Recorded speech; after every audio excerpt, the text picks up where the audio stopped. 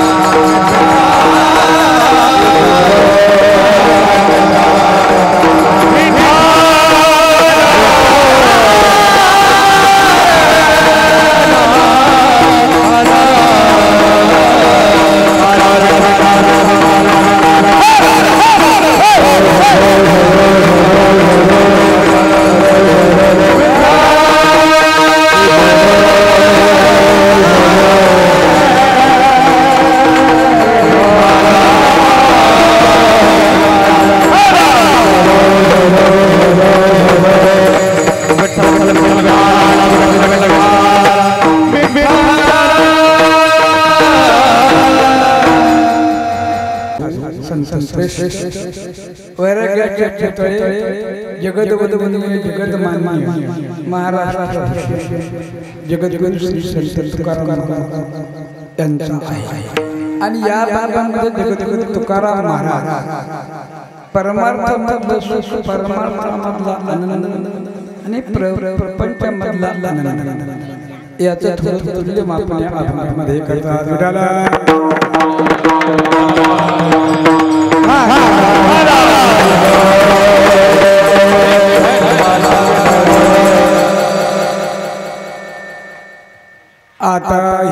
सगळे घेऊ शिदू आपल्या गावात चालत आलेला हा दोन वर्षापासून संक्रांत यांच्या पावन अशा पुण्यस्मरणार्थ हा सप्ताह या ठिकाणी आपण प्रारंभ केला. दुसरं वर्ष आहे. खूप आनंदाची गोष्ट आहे. कारण संकल्पना कारण तयाच्या चिंतनी तरी तरी दोषी पापाचा. संत महात्म्याच्या चिंतनामध्ये आपलं सर्व पाप जळून जातात. आणि या सप्ताहाला खूप मोठमोठ्या संतांचा लाभ घेतला. गुरुवरे मुकुंद काका दाद कृपा आशीर्वाद. आणि आपल्याच गावात असणारे महात्मा आपण काय म्हणतात जवळचं असणार तेवढं काय महत्त्व घरकी मुलगी दाल महत्त्व कळत. कारण स्वतःच्या शेतातलं वाईट वाईट किंमत राहत राहत राहत राहत पण पण असे आपल्या हरिभक्त प्रेम आदरणीय बाळाभाऊ महाराज जाधव यांचं अत्यंत चंद्रदर्शन साजरा केला. खूप खूप धन्यवाद अखंड एवं श्रीमद भागवत कथा. ज्ञानेश्वरी उद्धव महाराज हरिभक्त उद्धव महाराज राखंडे आळंदी देवाची यांच्या मुखारहन नामदान आपण भागवत श्रवण केली आणि सात कीर्तन काल्या काला म्हणजे तुका म्हणे काला कुठे आले देखील आज आता कालेचा प्रसाद करता आणि गावामध्ये असलेले पायपाशन झगडे प्रे कालाचा अर्थ आहे की गेला आपण हे वाद जे आहे. तेवढ्या पुरते ठेवायचे. जसं समुद्रामध्ये काठी मारली की पाणी दुभंगतं. पण काठी खाली खाली पुन्हा एक. तसं गावात काही ग्रामपंचायत असो. कोणतंही असो. तेवढ्या फक्त तानातानी करायची माग मागून सर्वांनी एक व्हायचं. पण मराठीला मराठी लोकांना हे खोडे कौरं कवड कौरं कवड पाहते मोठे मोठे काही काही लिडर लोक पाहते आपल्याला लावून देतात, पण तिकडं मस्त एका धाग्यावर खाते आपल्याला मिळ लागत तर या करता प्रत्येक खेड्यातल्या माणसाचा विचार करायचा. काही निवडणूक असली तेवढ्या पुरती बस. पारडे एकमेकाला चार पारडे कोणी कोणी एक पडणारच आहे. दोन पहिलवान मग एक एक पाठ लागणार चितपट दिवस रात्र सुख दुःख अंधकार प्रकाश. चांगला वाईट सर्व त्या दोन्हीपैकी एक होणारच तर याप्रमाणे अशा प्रकारे काल्याचं महत्त्व ते. आपल्या संत महात्माने काला त्यामुळे ही प्रथा पाडली की आपल्या जीवनामध्ये मनुष्य जीवनामध्ये जो काही भेद होतो काही कारणास्तव पार्टीशन होतं हे कारण ताबडतोब तिथं समाप्त करायचं पुन्हा एक व्हायचं. जसं आखाड्यामध्ये म्हणजे पहिलवान पळला तर पळलेल्या पहिलवानाची पाठ पाळड्याला पहिलवान काय करतो ज्यानं पाळलं तो त्याची काय करतो पाठ थापतो. किंवा त्या पाठीवर हात फिरवतो तसं आपण काल्याच्या माध्यमाने या गोष्टी घरामध्ये भांडण असल्या सासूनाचं तर आज काल्याचा प्रसाद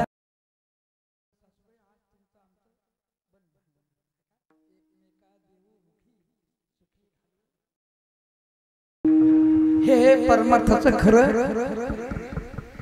लक्षण आपण करतो सत्य. सत्य करतो पारायण करतो. पण गुण येत नाही. गुण काय येत गुण यामुळे येत डॉक्टर सांगतो बा तुम्ही गोळी घ्या. पण गोळी घेतलं असताना सुद्धा पथ्य. की तुम्हाला आंबट खायचं नाही. पथ्य तसं आपण परमात्रूपी गोळी घेतो पथ्य पाळ कारण पथ्यनाम विठोबाचे आणि वाचे पथ्य पाळत नाही आपण. हा काय भजन चाललं हरिपट चाललं आणि भावाबरोबर पोलीस स्टेशनमध्ये भांडण. कोर्टामध्ये भांडण. तुळशीची पूजा करायची घ- देवारात घडब घडीभर पूजन करत राहायचं आणि सासून सुनाला बरं नाही पाहायचं. कशाला पूजा करायची? म्हणजे गुण काय येत गुण यायला आपल्या प्रत्येक जसं आपण आपल्या कोकडा पडल्याल्या पळाटीवर फवारणी करतो क्रोधन फिर फवारतो. क्रोधन फवारल्या बरोबर ताबडतोब पळायचं. का? गुन्हा तसं आपल्या जीवनामध्ये परमार्थाचा गुन्हा एक कलेक्टर होता एक कलेक्टर मोठा माणूस आणि त्याला भरलं टीचर असं टीचर भरलं माणूस. आता टीचरला काही डॉक्टर औषध गेले या दवाखान्यात त्या दवाखान्यात पाच पन्नास हजार रुपये लागले. पण ते कमरात टीचर भरते तिचं उसनमध्ये कोणी टीचर म्हणते परेशान गाव गावकडे आल्यावर मित्र होता लंगोटी यार म्हणजे काय गाडा म्हणजे काय साहेब काय चाललं अरे म्हणजे काय साहेबाची बेदारी चालली भले माणसा काय झालं म्हणजे तिचं भरले पाच पन्नास हजार रुपये तिचं म्हणजे आज झोपाय म्हणले अरे doctor M B B S M D जमलं नाही अहो म्हणले आमच्या गावात एक माणूस असा आहे की तो टीचर कच कच कच कच म्हणले कसं काय करतो? म्हणले भर चौकामध्ये दोन लाता घातल्या आता हे कलेक्टर हे कलेक्टर म्हणतो आपण कलेक्टर माणसं. सर्व गावात साहेब साहेब साहेब मोठं गाव आणि तिथं येणं दोन लाता घातल्या किती आपण तो म्हणे बघा तो माझा दोस्त तू त्याला सांग बाप्पा त्या चौकात दोन घातल्यापेक्षा घरात अंधारात चार घाल. मी खायला तो मला साहेब चार जरी घातल्या तरी गुण येत नाही ना. गुणाला पाहिजे. तसा हा दृष्टांत झाला. तसं आपण जीवनामध्ये परमार्थ करतो. पण परमात्माचा गुण येत नाही. काऊन आपण दोन्ही काम करतो. भांडणं करतो चोऱ्या करतो परमार्थ करतो. वारी करतो वारी. मनामध्ये द्वेष ठेवतो राग ठेवतो. पार्टी आम्ही बोलत नाही. आम्हाला कोणा गावात गेली पंचायत शक्य भाऊ. काल परवा एका ठिकाणी दोघांची आई होती. आई वार ती भेटाय गेलो. दुसरं आलंच नाही काय आम्ही बोलतो काय शक्य भाऊ बोलत आणि दोघे धार्मिक माई घालतात टपुरे टपुरे काय मस्त असतात वारी करते सर्व करते याला गुण आहे म्हणून आपण आपल्या जीवनामध्ये परमार्थ करत असताना आपण परमार्थ करत पण त्याचं पथ्य ते पथ्य म्हणजे काय आहे? राग द्वेष घातले बाहेरी काम क्रोध वैरी बैसले अंतरी पांडुरंग विठाला विठाला.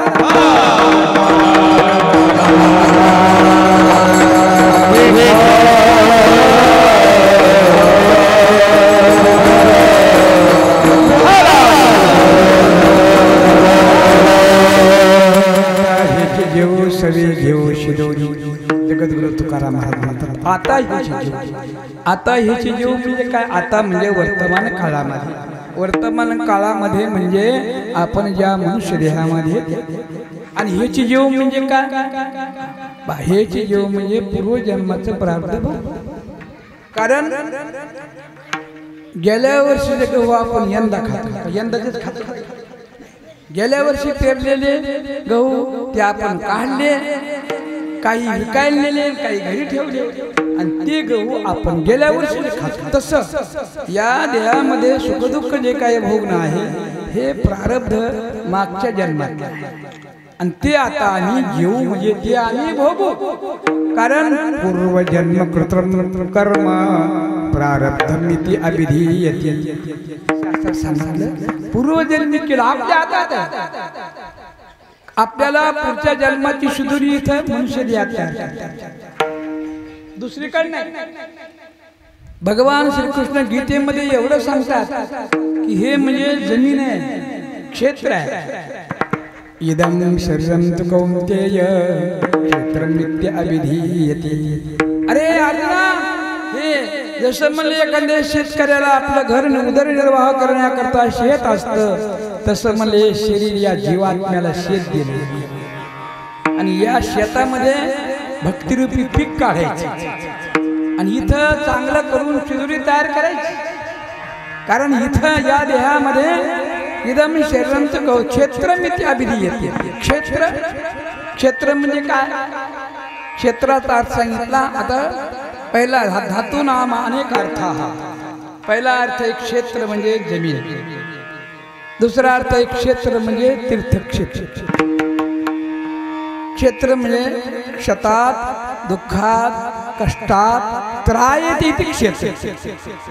या जीवाला अनंत जन्मापासून जन्म मरण याच्या पाठीमाग आणि जन्मल्यावर जो काही दुःख भोगावं लागते त्या दुःखाची निवृत्ती या मनुष्य देहामध्ये त्या मरणाची निवृत्ती या मनुष्य देहामध्ये या जीवाला करून घेता येते. असं एक क्षेत्र आहे येण्याची शरीरे शरीरा येणे सरे. किंबहुना यरधारे चिना पडे. म्हणजे या शरीरामध्ये एवढी ताकद. हे क्षेत्र आहे. आणि या क्षेत्रामध्ये कारण क्षता दुःखात कष्टात राहते क्षेत्र या जीवाला जेवढे काही दुःख होतात सर्व काही होते ते सर्वाच निरसन या मनुष्य देहामध्ये होत. आणि म्हणून आता जे भोगत आहोत हे भोगणं म्हणजे काय? हे आपलं भोजन. आता हे जेवण. कारण आपण भोगायला लागलो. काही माणसं सुखी आहेत काही माणसं दुखी आहेत. आता सुख आणि दुःख.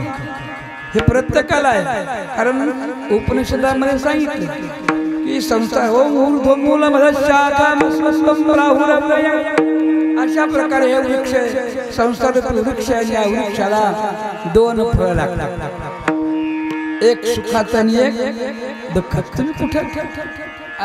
जा, जपानला जा, कुठे जा? कोणी सुखी आहे तर कोणी दुःख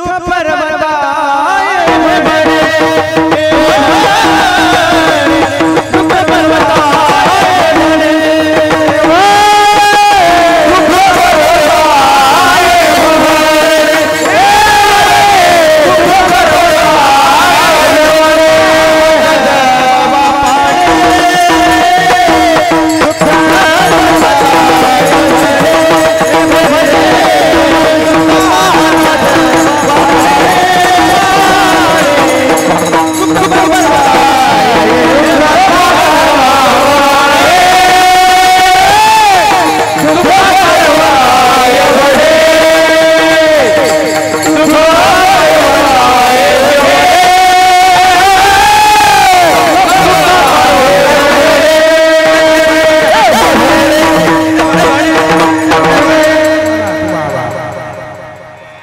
पाहता जवा पाडी सुख म्हणलं जरस दुःख म्हणलं तर पर्वता येऊ एका माणसाला सवय होती गादीवर बाजावर गादी टाकून झोपायची सवय.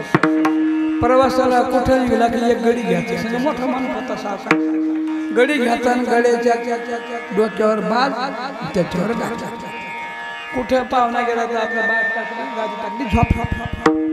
योगा त्याला एक गडी भेटला नाही मजुरी भेटला नाही, काय? त्या माणसाने स्वतः आपल्या डोक्यावर बाज त्याच्यावर त्या दिन डोकं म्हणजे काय माणूस? दिवसभर गादी बाज डोक्यावर, गादी डोक्यावर. काय डोक्यावर का त्रास करतोस? म्हणले की दिवसभर गादी बाज डोक्यावर घेतात गादी डोक्यावर घेतात पायांचा गडी नाही काय नाही. नाही. ते म्हणले दिवसभर राहते दुःख पण संध्याकाळी तो कोण माणूस सुख पाहता जवा पाडी दुःख पर्वता एवढी. दोन द्वाव सुपर्णा सौदा सुखाया. समान मे तत् परिस्वस्थ जाते की ह्या संसारूपी झाडावर दोन पक्षी आहेत. द्वा सुपर्णा सौजा सखाया अगदी दोघं सखी आहेत. मित्र आहेत. पण म्हणले तयोरान्यम पिप्पलम स्वाधिवत्य. पण एक पक्षी म्हणले फळ खातो. आणि एक पक्षी म्हणले नसन अभिचार कशी फळ न खाता फक्त पाहत. या संसारातलं फळ पाहणारा न खाणारा म्हणजे जीवात्मा. आणि पाहणारा म्हणजे परमात्मा. साक्षी चेता केवलो निर्गुणश्च याप्रमाणे आणि म्हणून जीवाला भोगायचे. म्हणून महाराज म्हणतात आता याची जीव म्हणजे या मनुष्य देहामध्ये आपण वर्तमान काळामध्ये आहोत आणि आता प्रारब्ध जे आपलं आहे ते प्रारब्ध म्हणजे पूर्वजन्मी केलेलं आपण भोगायलो कोणी असो. केले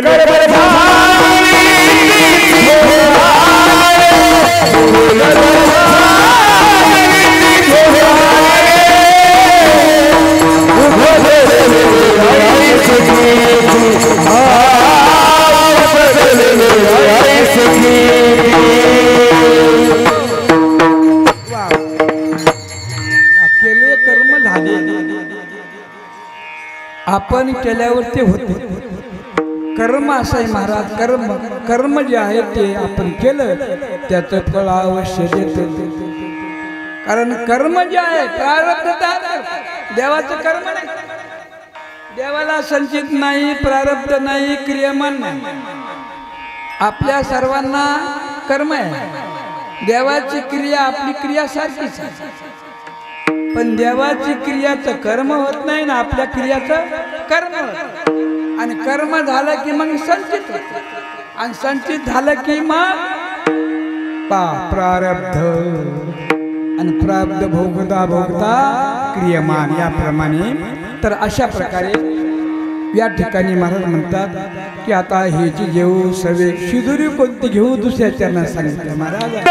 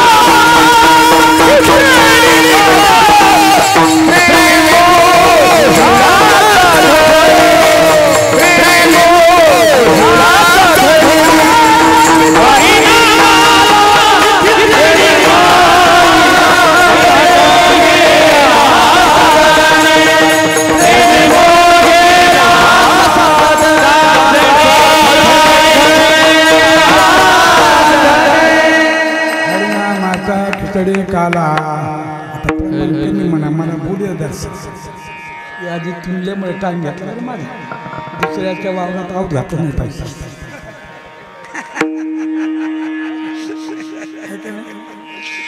कधी स्वतःवर झालं तर नाही असं विनोद चालला तसं काही नाही तुमच्यामुळं आमची स्वभाव मुलं असलं तर रडणार रडणारे स्वभाव मिळेल कीर्तकाने सोबत केला खूप आनंद आहे खूप मला चालतं खूप एवढी आवडली काय दोन्ही महारथी मृदंगवादक आमचे होते पोखरीला आहे काय?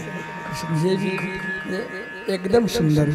अशी मजा तिकडे विदर्भात लाव सुरू करतो बाबा ज्या किशीत. काल माझं कीर्तन मागचं मग होतं आठ दहा हजार.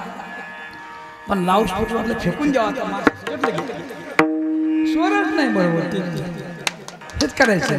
पण आपल्या इकडे हे आणि तिकडे लोक म्हणतात मराठवाड्यामध्ये जा आणि तिथं लव स्पीकर पाहून वाजवणारे गुणवान सर एवढे तिकडं एवढे सारे तिकडं कीर्तनात जास्तीत जास्त दहा पंधरा माणसं बस टाळतात इकडं आपल्या इकडे खूप आनंद आहे महाराज. मी गाणारे खूप सुंदर.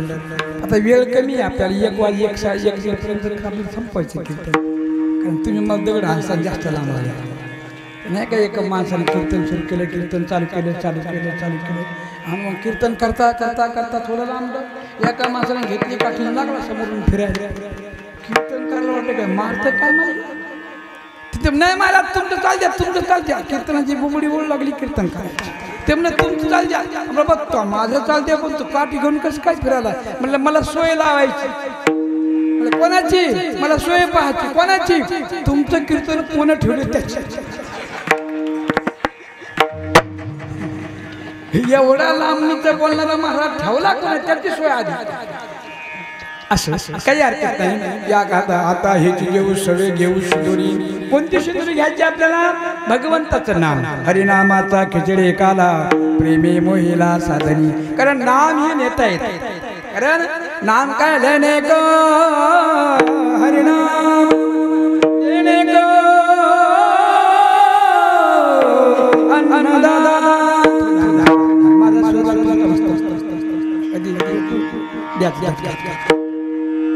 लेने को देने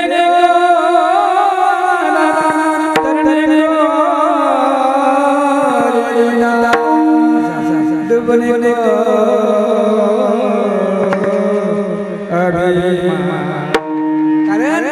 माणसाला डुबून जायचे अध्यपतनाला जायचे गर्ताला जायचे नरकात जायचे. ते म्हणजे त्याच्याकरता अभिमान बाळगत जावं माणसाचा अभिमानापुढे केवढं मोठं असतं लहान दिसतं महाराज अभिमानाचा स्वभाव आहे. म्हणून माऊली म्हणतात ना म्हणून काय म्हणतात त्या ठिकाणी हा अहंकार सांगितले मग वस्तू होईल याप्रमाणे माऊली सांगतात हा अहंकार. तर आपल्याला नेता येते म्हणजे भगवंताचं नाम. भगवंताचं आणि देता येतं काय म्हणजे अन्नदान. बा अन्नदानाचं एवढं महत्त्व सांगितलं. कारण मी सांगत असतो अन्नदानाची चार्जिंग तीन पिढ्यापर्यंत चालते. मोबाईलची चार्जिंग फक्त एक दिवस चालते. पण अन्नदानाची चार्जिंग तीन पिढ्या. ज्यावेळेस सुखदेव महाराज भागवत सांगायला बसले आणि प्रश्न विचारला राजा परीक्षितांना. मरणासन्न माणसानं काय केलं पाहिजे? प्रश्न विचारल्याबरोबर सुखदेव महाराजांनी याचं मरण सात दिवसानं आहे. आणि हे नगदी मरण माणसाबद्दल विचारतो. स्वतःबद्दल याला काहीच नाही. यांना स्वतःबद्दल विचारायला पाहिजे. म्हणजे काहीतरी चांगल्या घालण्यात माणूस दिसतो. कारण झाड जाणे फुले माणूस जाणे बोल कारण माणसाची बोलण्यावरून ओळख महाराज आम्ही पुढे रस्त्याने चाललो. जात असताना एखाद्या घरातून पोरग पळत बाहेर येतो हे ए महाराज तू कोण्या गावात आहे रे? समजून या घरात काय संस्कार. म्हणतात ना घराची कळा अंगण सांगत तसं माणसाचं वागणं बोलणं सांगतं. विठाला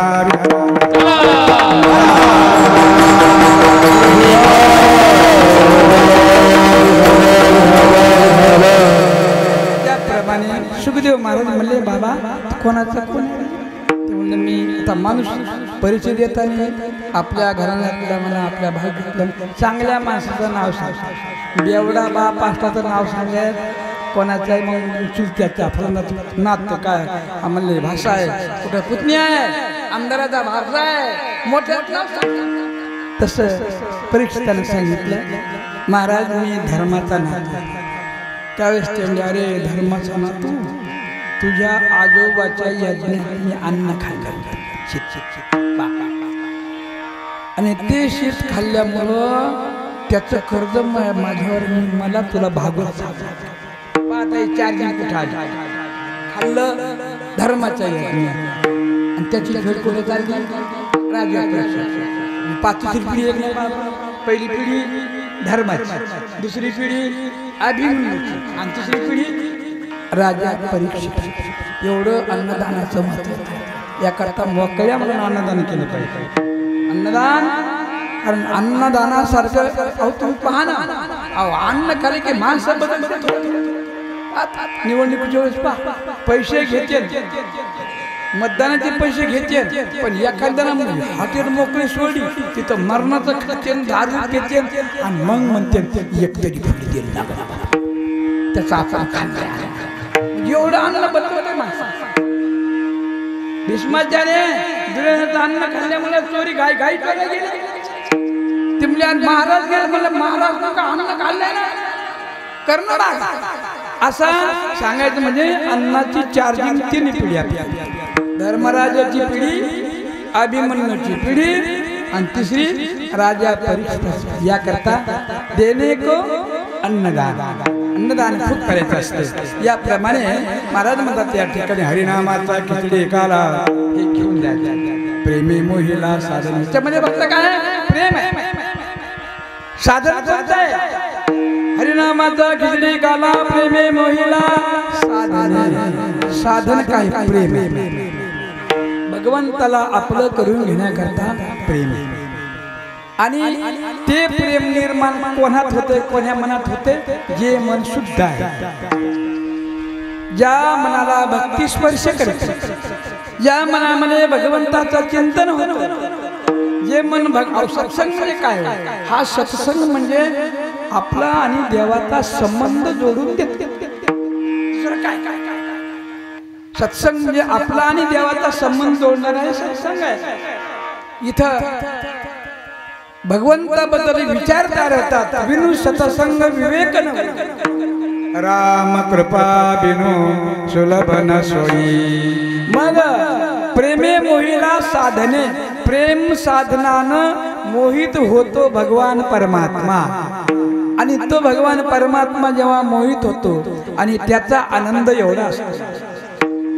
कारण भक्तीचा आनंद आनंद दोन प्रकार सांगितले पंचदशीमध्ये एक आनंद विषय आनंदाचे प्रकार भरपूर आहेत. एक सांगितला विषय आनंद आणि एक सांगितला ब्रह्मानंद.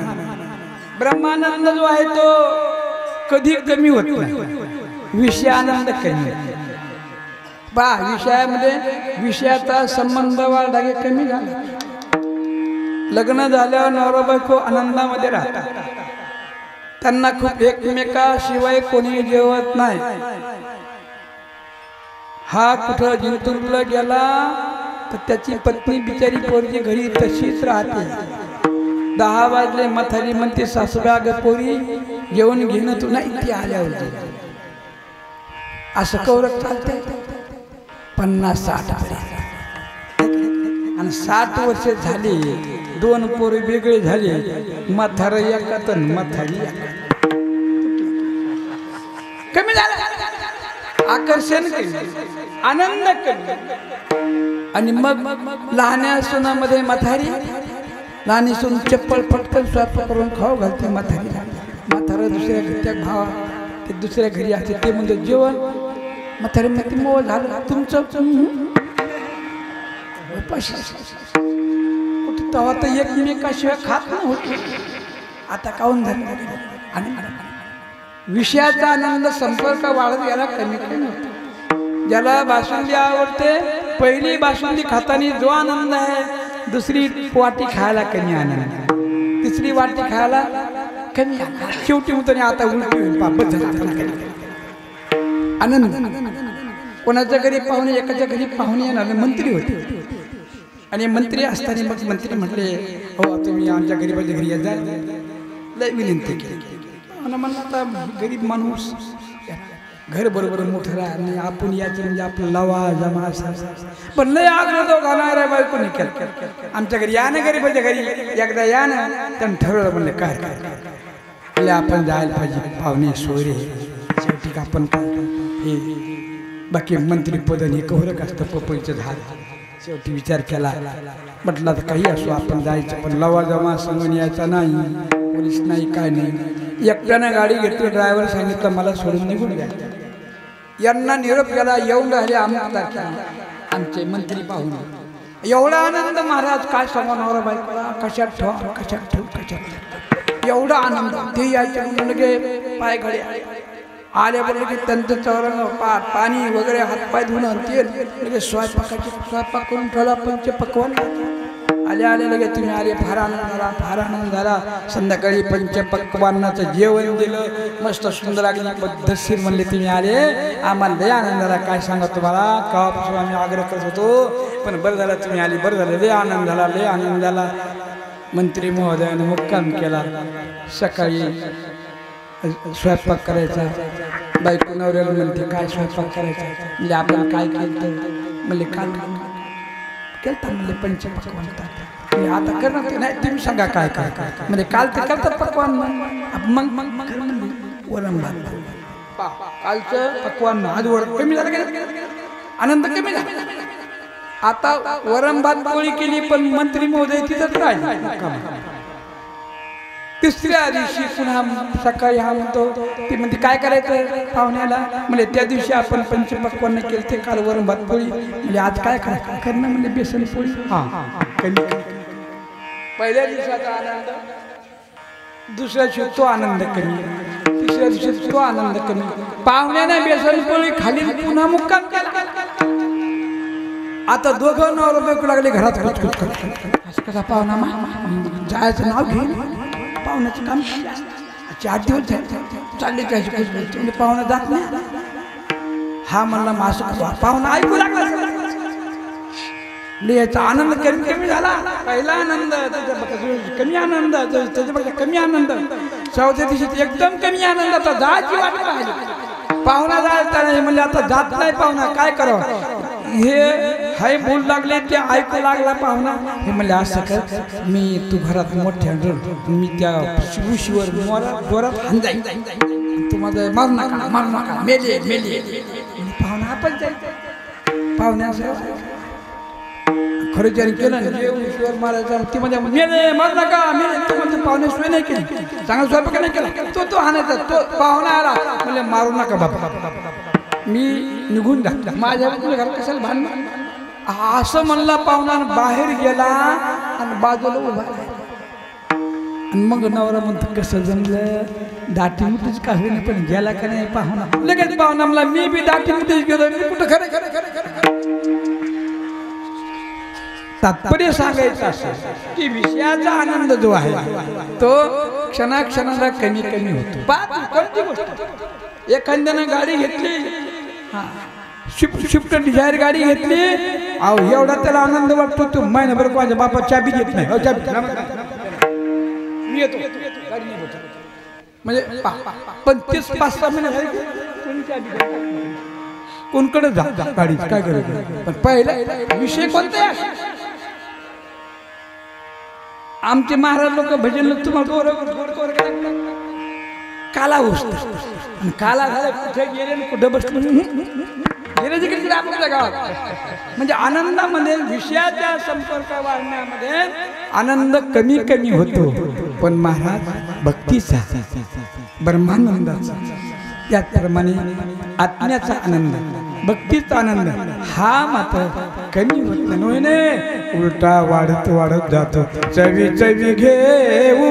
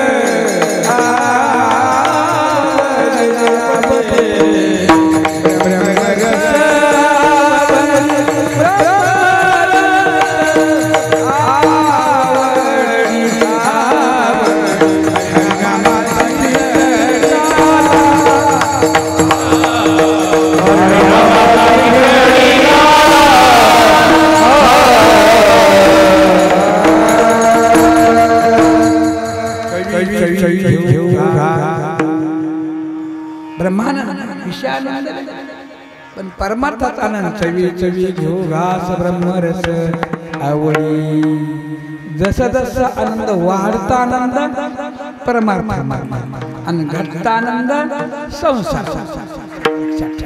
या जगद्गुरु तुकाराम महाराज म्हणतात चवी चवी घेऊ घास ब्रह्मरस आवडी एवढा आवडतो एवढा आवडतो एवढा आवडतो. शेवटी म्हणतात Hey!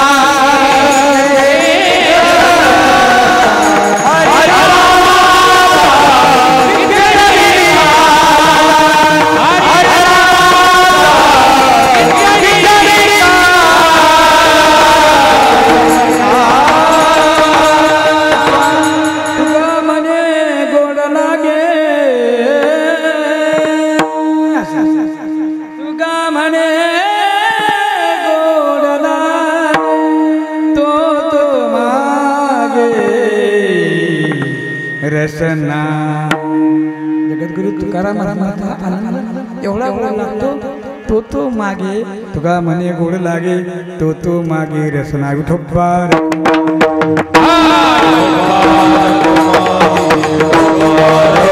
अभंगाचा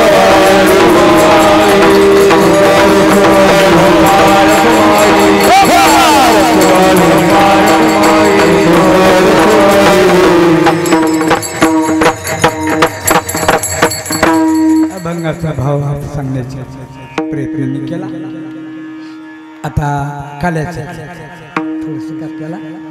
कारण काल्याचे कीर्तन काल्याच्या कीर्तनामध्ये चरित्र ते उच्चारा चरित्र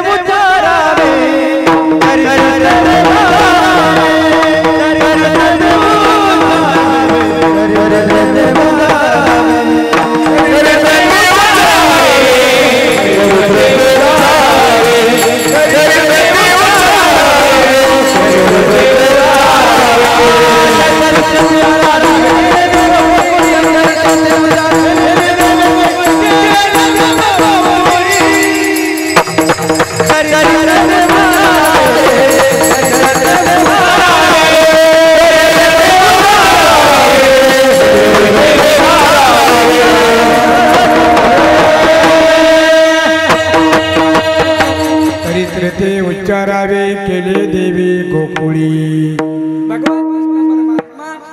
त्यांचं चरित्र उच्चारण करायचे वास्तविक पाहिलं आपल्या भारतीय संस्कृतीमध्ये सनातन धर्मामध्ये कृष्णाचं चरित्र करायचं आणि आचरण कोणाचं करायचं रामाचं कृष्णाच्या चरित्राचं आचरण करायचा प्रयत्न करायचा नाही. आणि केले तर फजिती झाल्याशिवाय उगच म्हणले बाबा कृष्णाने एकशे आठ बायका केल्या आपण दोन चार करून पहा. फजिती होईल. चार बाया कधी एका जागी मुकट्या बसत तुमच्या गावातल्या बऱ्याच बसल्या कीर्तनात. मला धन्यवाद म्हणजे भगवान कृष्णाच्या चरित्राबद्दल आचरण उच्चारण. आणि कृष्णाचं उच्चारण आणि रामाचं आचरण. कारण आचरण भगवंतानी रामा प्रभू रामचंद्रांनी आचरण करून दाखवलं. कृष्ण कन्हैया म्हणला मी फक्त आचरण करे पण तुम्ही मात्र माझ्या आचरणाचं उच्चारण करा. आणि म्हणून आपल्या भारतीय संस्कृतीमध्ये संत महात्माने दोन अवतार ग्रहण केले. मुख्य कोणते कोणते? राम आणि कृष्ण. बाकी नाही. नाही त्याचा विशेष काही सांगितलेलं नाही. किंवा नेहमी घेवा असं काही नाही मच्छ नाही कच्छ नाही परशुराम नाही. हे दोन विशेष. का? राम आणि कृष्ण. दोन का घेतले? याचं कारण असं आहे. एकाचं उच्चारण आणि एकाचं आचरण. नेमकं माणसाच्या जीवनामध्ये ह्या दोन गोष्टी वेगळ्या वेगळ्या होतात. एकाला आचरण उच्चारण करायचं एकाला आचरण करायचं. एखाद्याला म्हणायचं की माझी जमीन मी तुला देईल आणि रजिस्ट्री द्यायची दुसऱ्याला करू. म्हणजे उच्चारण वेगळं आणि आचरण वेगळं. ही जी माणसाच्या जीवनामध्ये तफावत आहे हे उच्चारण आणि आचरण बोले तैसा चाले त्याची वंदावी पाऊ कारण आपल्या मनुष्य जीवनामध्ये आचरण आणि उच्चारण नेहमी करतात. हो. पट्टीची लिहून देताना सांगते लिहा आपलं साखरेचं पत्र झालं उच्चारण. का कवा पाठवतात. नाही साखर साखर नाही देणं मी अर्धा घेऊन पैसे देतो. अच्छा एकाला बोलायचं आचरण वेगळं करायचं आणि दोन्ही अवतार असे महाराज राम जर म्हटलं सरळ राम काही लागतं का? राम म्हटलं की आतले पाप सर्व बाहेर जातात. म म्हटलं की तोंड बंद होतं. बाहेर गेलेले पाप आत प्रवेश करत नाही. राम कृष्ण तसं नाही. कृष्ण म्हणलं की वाकडं तोंड करावं. कृष्ण! वाकडं तोंड करावंच लागतं. पण कृष्ण वाकडं तोंड करावं लागतं. कृष्ण जो आहे आठवा आठ आकड्यामध्ये गाठ नाही. बाकीच्या आकड्यामध्ये गाठ आहे. पाच एक म्हटलं की वर गाठ दोन म्हटलं की खाली गाठ तीन म्हटलं की मधामध्ये गाठ चार म्हटलं की खालून गाठ पाच म्हटलं की उजवीकडून गाठ सहा म्हटलं की मधात गाठ सात म्हटलं की उजवीकडून गाठ आठ म्हटलं की नसतात असं भगवान परमात्मा गाठ नाही, पण ज्याच्या गाठी त्यांच्या मात्र गाठी तो विद्यते हृदय ग्रंथी छिद्यंते सर्व संशया असा जो कृष्ण परमात्मा आहे आणि तो कृष्ण परमात्मा एवढा महाराज दोघांबद्दल विचार केला एकाचा जन्म कुठं झाला? माला कोणाचा? रामाचा. एकाचा जन्म कुठं झाला? जिया कोणाचा? कृष्ण. दोघांचे तफावत वेगळी आहे. पण वास्तविक दोघांचं कार्य एकच आहे एवढ्याला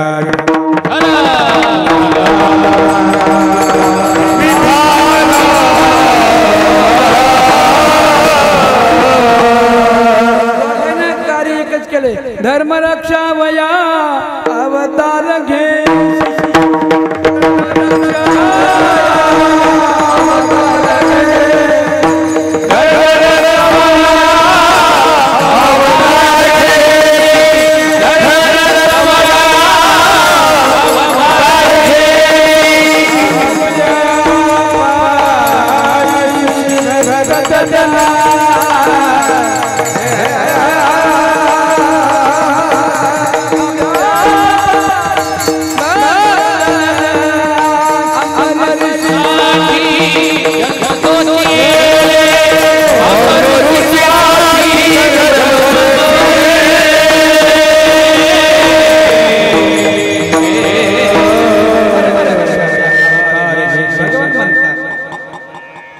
अजोपि सन्न व्यात्मा भूतानाम ईश्वरापि सन्। प्रकृति स्वामाधिष्ठाय संभवामी युगे युगे। कारण मी आज आहे, जन्मन घेणार आहे. आज म्हणजे आज दिवस नाही, आज म्हणजे न जन्मणार आहे. आज आहे. पुन्हा सत्य आहे, सन्न आहे. अजोपी सन्न वेयात्मा अव्यय आहे. माझा वेळ नाही माझा खर्च नाही माझं शरीर कमी होत नाही वाढत नाही का नाही. अजोपी सन्न ना भूताना आणि सुरापी सर्व भूताचा मालक एवढा सुद्धा प्रकृती स्वामाधिष्ठाय माझ्या मायेला मी माझ्या जवळ घेतो आणि तिच्या माध्यमाने प्रकृती स्वामाधिष्ठाय संभवामी आत्ममायया माझ्याच मायेच्या द्वारा मी असा अवतार घेतो. कारण माझा परित्राणाय साधूना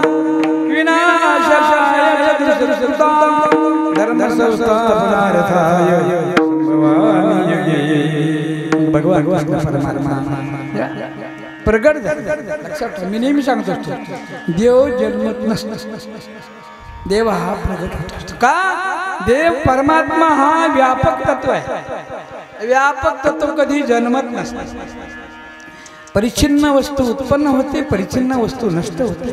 उपजते नाशे नाशते पुनरपिदशे हे घटिका यंत्र जैसे परिभ्रमेगा भगवान परमात्मा व्यापक तत्व असल्यामुळं उत्पन्न होत नाही प्रगट होत.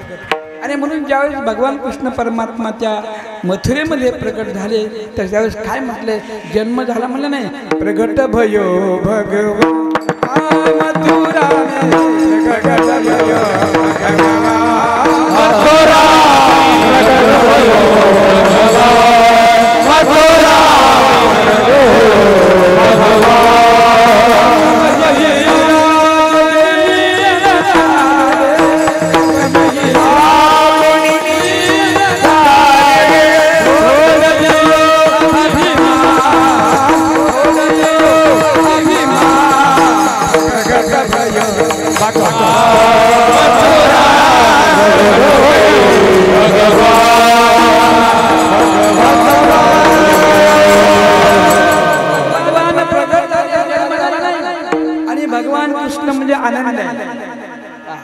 आनंदम ब्रह्मी दिव्यानाथ आनंद म्हणजे मला नंद घर आनंद भयो पोरग भयो म्हणले काय मुलगा भयो म्हणले काय?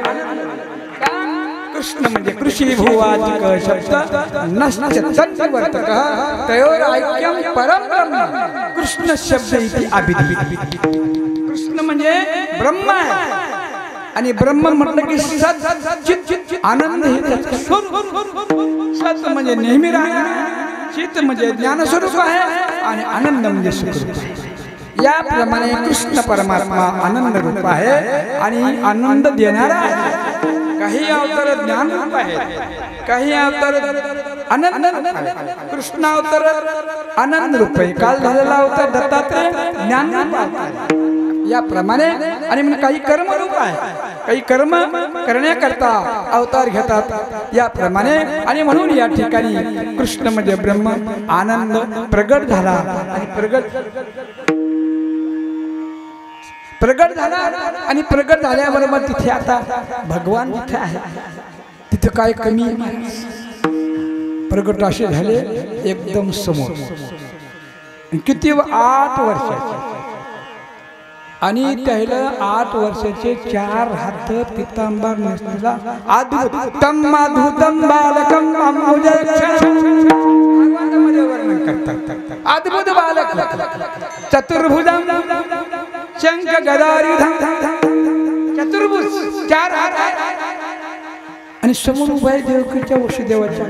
वसुदेवांना पाहिल्या ताबडतोब वसुदेव म्हणले प्रभू मी तुम्हाला ओळखलं. जाणलं कारण तुम्ही मागच्या सृष्टीच्या आरंभामध्ये आम्हाला दर्शन दिलं होतं. ज्यावेळेस वसुदेवाने देवकी सृष्टीच्या आरंभामध्ये ये वसुदेव सुतपा होती आणि देवकी कृष्णी कृष्णी आणि सुतपा.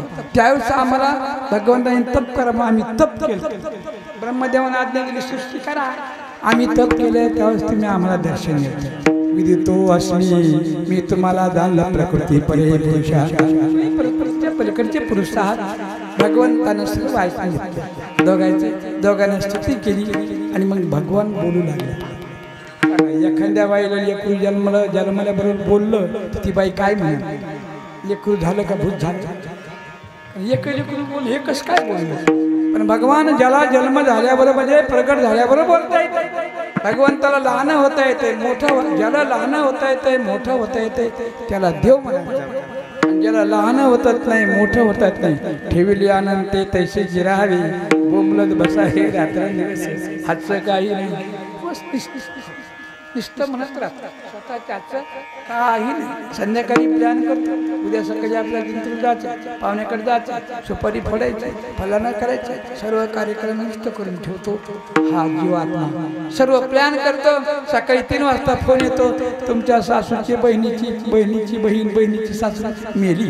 जा सर्व म्हणजे शेवटी सांगतात वायदे इन्सान के होते. फैसले तकदीर के होते. आपण वायदे करतो. शेवटी त्याच्या हातामध्ये असतो.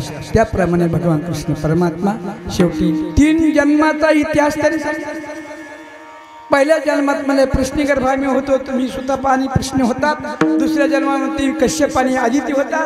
त्यावेळेस मी तिथे वामन झालो आणि आता तुम्ही दोघं पहा. तीन जन्माचे इतिहास सांगितला आणि याप्रमाणे सगळं बोलणं झालं सर्व. हे म्हणले देवा तुम्ही आता लहान व्हाल कृष्ण कन्या मला ठीक आहे हरकत नाही आणि कृष्ण कन्या मला ठीक आहे लहान होतो पण फिर मिलेंगे ग्यारह बरस के. भगवान अकरा वर्षात तो आमची तुमची भेट होईल. भगवान. सांगितलं आधीच. अकरा वर्षे काही महिन्यानंतर आपली भेट होईल. आणि मग म्हणले आता काय करा? मला घेऊन चला.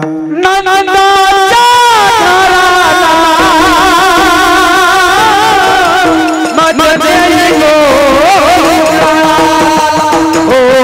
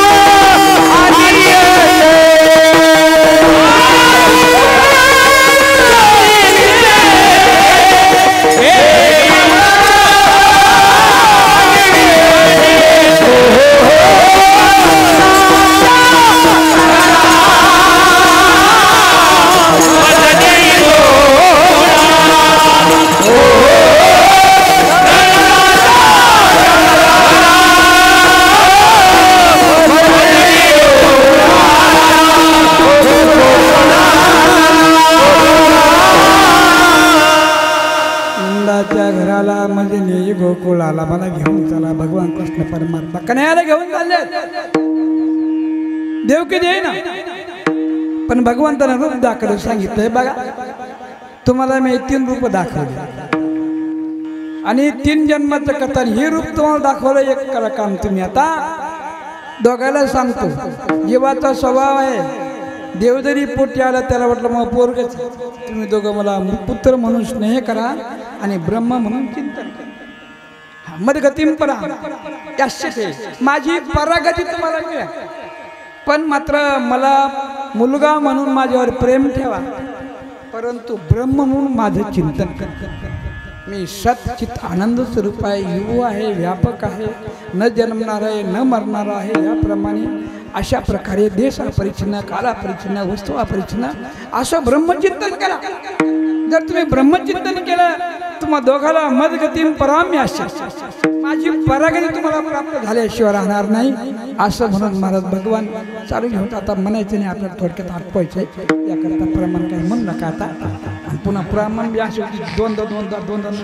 कारण कीर्तनामध्ये थोडं. हो. कारण तुम्हाला चान्सच भेटला आता म्हणायचं काय असं काही हरकत नाही. तर आपल्या थोडक्यात भगवान निघाले. डोक्यावर. आता भगवान जिथं आले परमात्मा आला की बंधन संपले. माया आली की बंधन आले. परमात्मा कृष्ण कन्हैया आल्या डोक्यावर घेतल्याबरोबर संबंध झाला. ब्रह्माचा आणि वसुदेवाचा. बेडे आपोआप निघाले पैसा घेऊन जागणारे ते झोपले. दरवाजे बंद होते ते उघडले.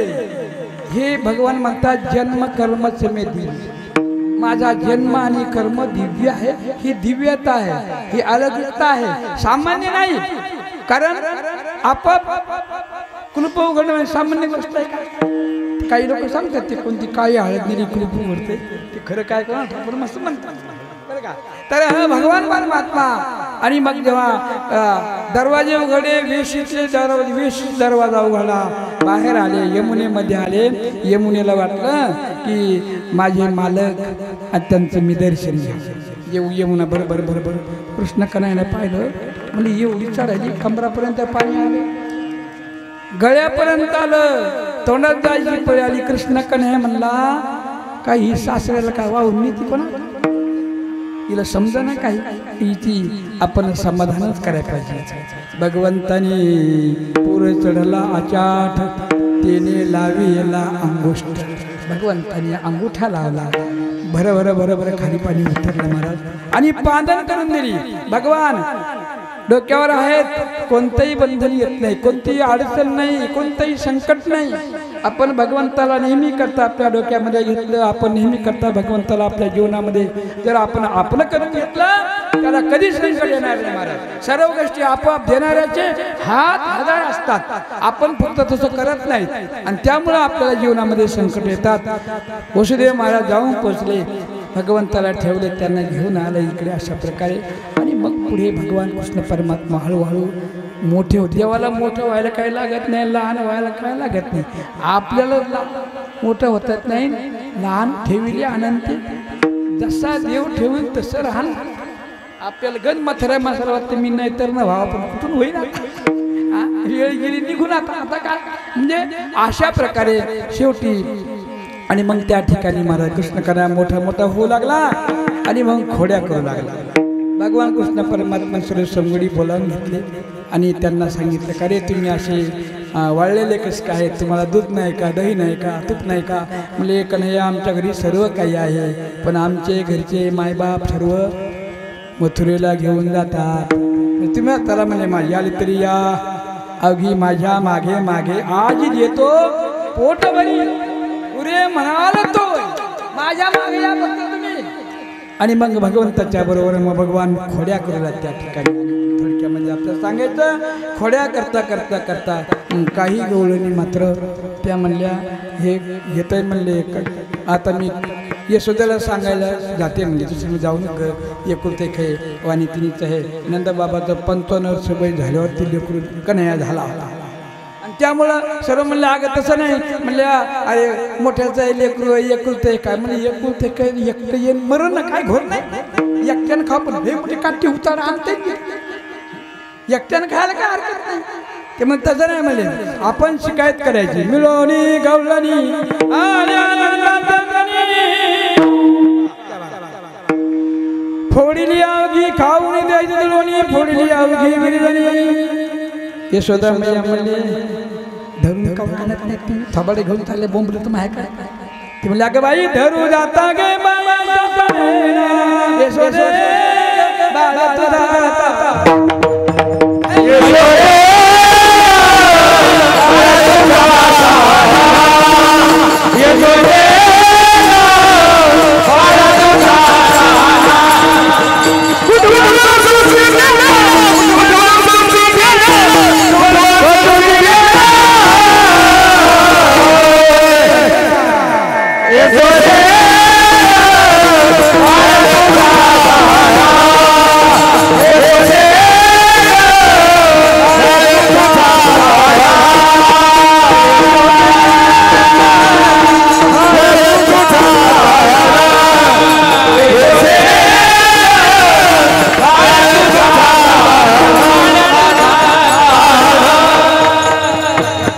क्या बात यशोदे आहे दुसरी आली बाई काही केली करणे. पतीची दाढी माझी मेली. दोन्हीची गाठ मारून गाठ काही केल्या बाई. बाई तहाना याप्रमाणे शिकायचं शेवटी. आणि मग यशोदा मैया म्हटली तुमचे डजन डजन तुम्हाला गोड वाटतात. माझं एकूण एक डोळ्यात सगळ्या लागल्या माझं लेकरू एवढं चांगलं गोड शेवढं म्हणले पाच वर्षाचे माझी बाळगे अंगणात खेळ खेळे गे लटकत गे गे. याप्रमाणे तुम्ही तुम्ही लपून याचा भवरा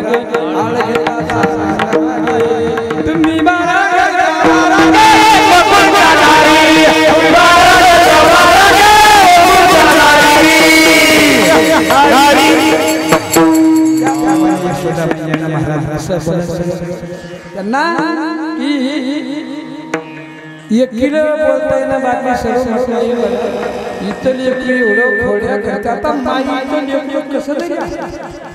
ते माईला ते गोड असतं लग्न असो वासरा असो. फुलं असो.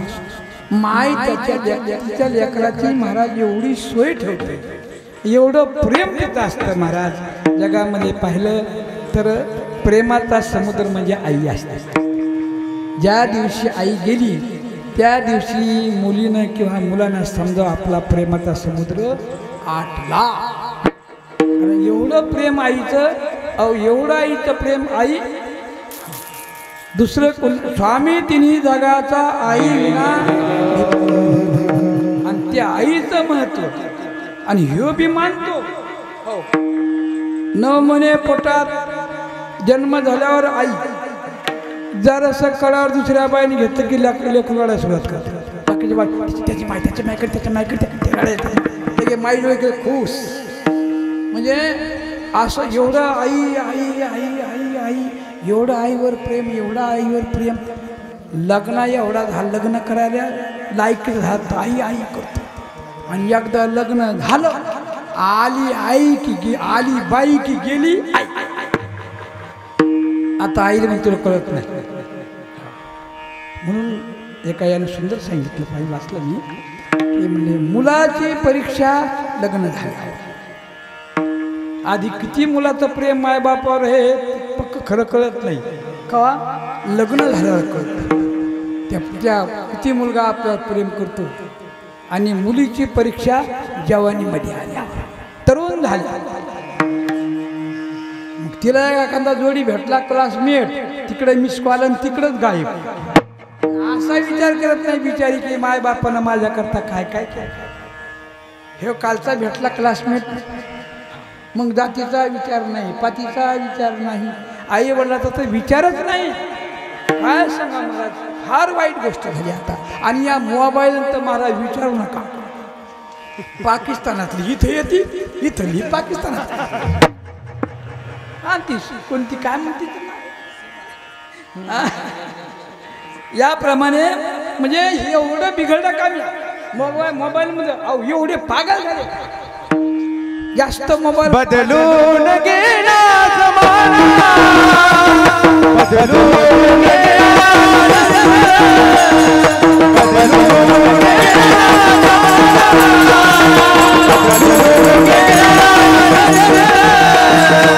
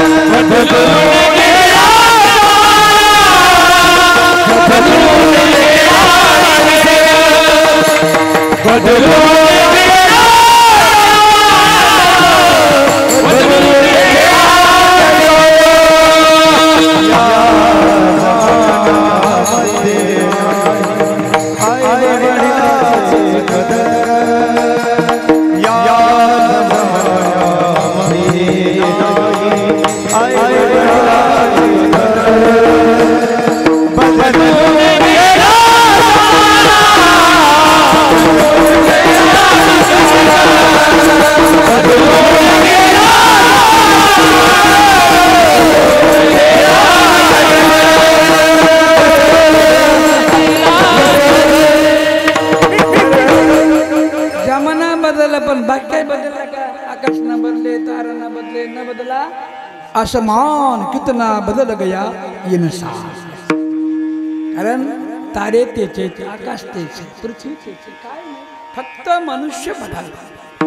म्हणून मनुष्यानं सर्व जमाना बदलवला। म्हणून मी सांगून आलो काय? की मुलाची परीक्षा लग्न झाल्यावर मुलीची परीक्षा तारुण्यामध्ये आल्यावर नवऱ्याची परीक्षा बायको बिमार पडल्यावर. बरोबर आहे? तुम्हाला अनुभव असा आणि बिगर बायकाचा आम्हाला पण नवऱ्याची परीक्षा तेव्हा नवरा किती प्रेम नाही तर एखादा असतो ती बिचारी ताप आली अंगा अंग ठणकते पाय दुखते डोकं दुखतं. हे बांधलं मोठं तुझं काय डाकिरी ती ती फुलंदेवी आली. आणि ती हे म्हणतो बा दे मला चहा करू आणि ती मरायला लागली. ही परीक्षा आहे. बायकोची परीक्षा आपल्या नवऱ्याची परीक्षा बायको बिमार पडल्या. आणि बायकोची परीक्षा नवऱ्यामध्ये गरिबी आली. जेव्हा नवऱ्याकडे पैसा नाही दहा रुपये घातलं कशात घातलं घालू घातलं. पण बायकोची परीक्षा नौका नवरा गरीब. आणि म्हणून सांगतात या ठिकाणी आणि भावाची परीक्षा भांडणामध्ये मित्राची परीक्षा संकटामध्ये. आणि आवलादीची परीक्षा म्हातारपणामध्ये. विठाला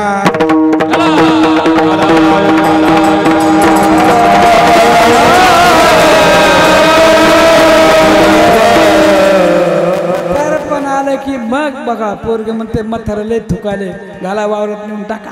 टाकले मथरले म्हटले हो काय सांगू? पुष्कळशे टाकले.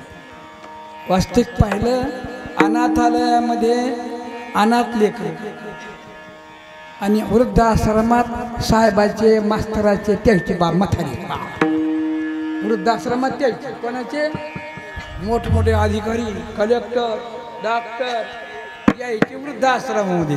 आणि अनाथालयामध्ये बिगर मायबापाचे लेकर. काय सांगा तुम्ही? किती? हा वृद्धाश्रम आला कुठून? आपल्या चारच आश्रम सांगितले. ब्रह्मचार्य ग्रस्त वानप्रस्थ संन्यास. पण ही आवलाद बदलली नाही.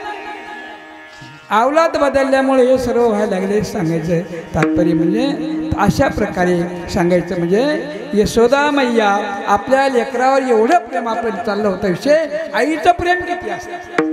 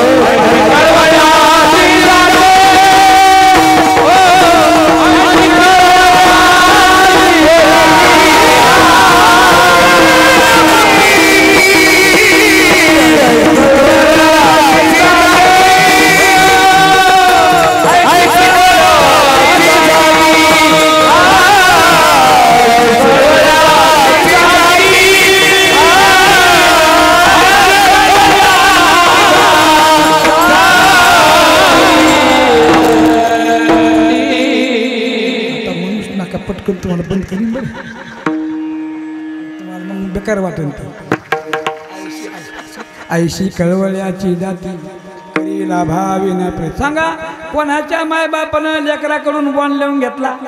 म्हातारपणी आमची सेवा करून पण घेतला. नाही तरी सुद्धा प्रेम आयुष्य कळवळ्याची जाती करीला भा काही लाभ नाही अहो हा लहानपणी आईच्या अंगावर आगतो लाता मारतो वकतो काय काय करतो सर्व आई सहन करते. आणि जेव्हा आई वडील म्हातारे होतात तेव्हा ते थुकायले वकायले तर काय म्हणते लिहून टाका. वावरात लिहून टाका सांग. अरे तू किती केलं त्याने तू मांडीवर बघ भागत होतास. आईनं तो सगळं साफ केलं. तू शाळेत जात असताना तुझ्या आधी ती पहाट उठत होती. स्वयंपाक करत होती. डबा बांधून लगे गाडीवर तयार. आणि तू गेल्यावरती नंतर स्नान करायचे नंतर जेवण करायचे. हे सर्व विसरून त्याचा याचा विचार करत नाही. मुलगी विचार करत नाही. मुलगा विचार करत नाही. आईचं प्रेम फार मोठं यशोदा मैया सर्व गवळणी म्हणतात. पहा म्हणले इथं लेकरू. एका बाईचं लेकरू असं होतं मला काय सांगायचं? त्याला झालं ती शोभनी संकडेसारखे हात पोट मोठे एकदम।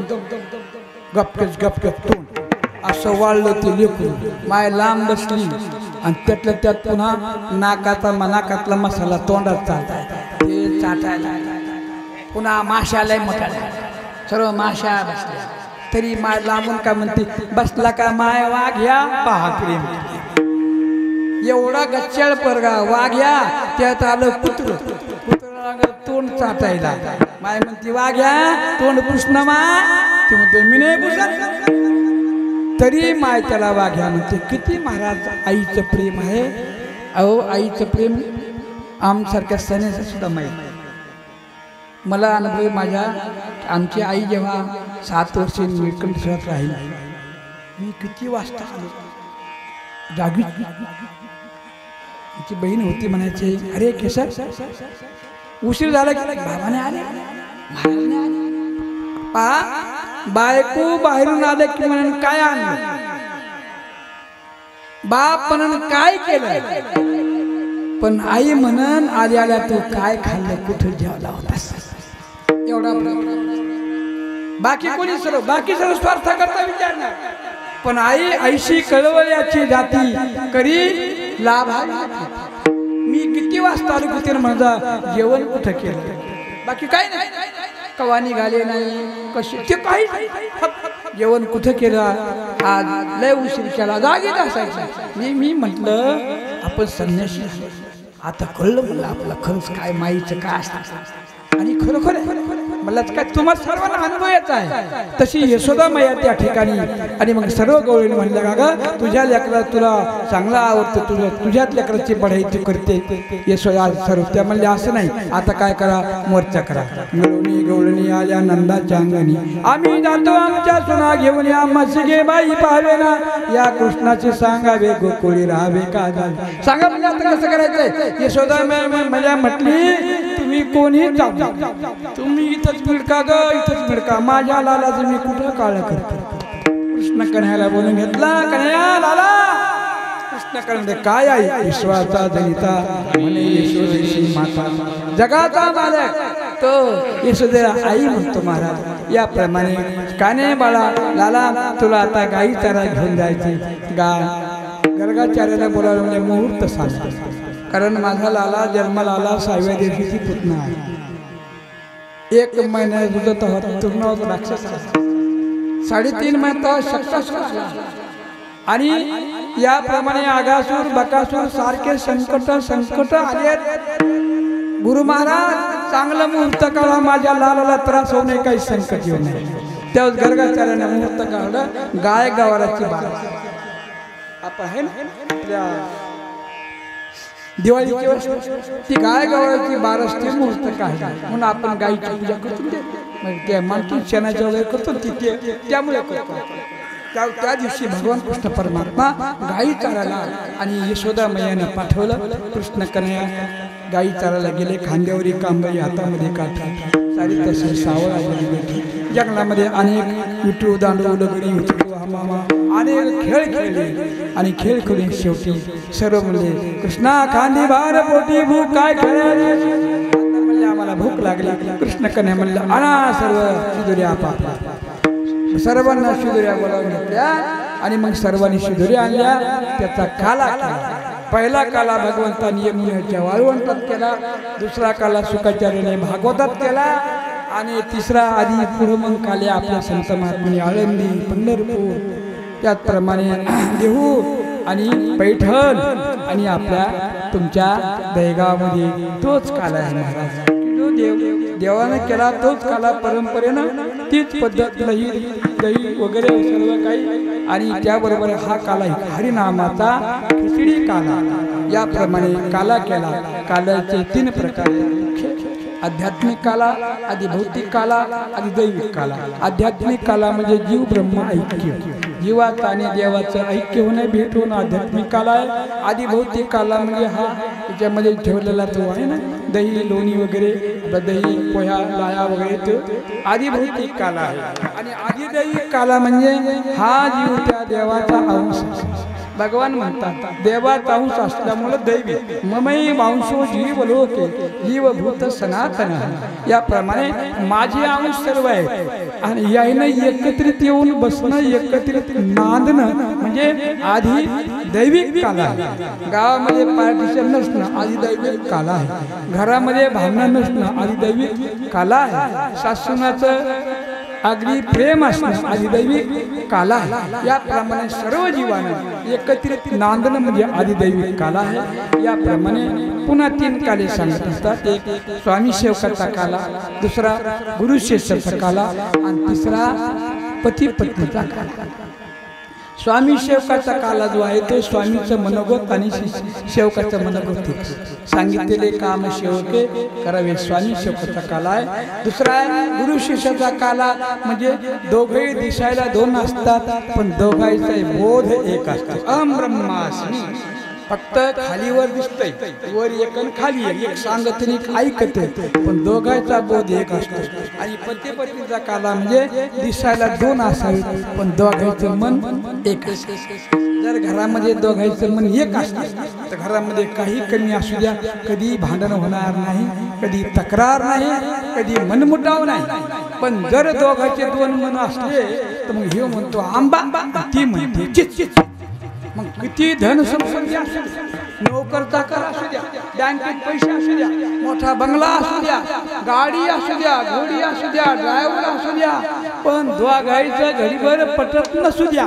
त्या घरात सुख नाही काय प्रेमा विना नाही. समाधान प्रेम सुख देई प्रेम सुख प्रेमा विना नाही समाधान. प्रेम असलं नवरा बायकोचं प्रेम तेव्हाच असतं. दोघायचं म्हणी एक दोघांचं मन एक नाही त्या नवरा बायकोचं प्रेम केव्हाच आणि केव्हाच पटत पण दोघायचं. मग काही असू द्या. घरात पैशाचा पूर असू तरी दोघांचं पटत नाही. याप्रमाणे पती पत्नीचा काला अशा प्रकारे आणि भगवंतानी त्या ठिकाणी यमुनेमध्ये पहिला काला केला तोच काला त्या काल्याच्या निमित्ताने त्या काल्याचा आनंद एवढा आहे एवढा आहे एवढा आहे की तुका म्हणे गोड लागे तो तो मागे रसना ज्ञानेश्वर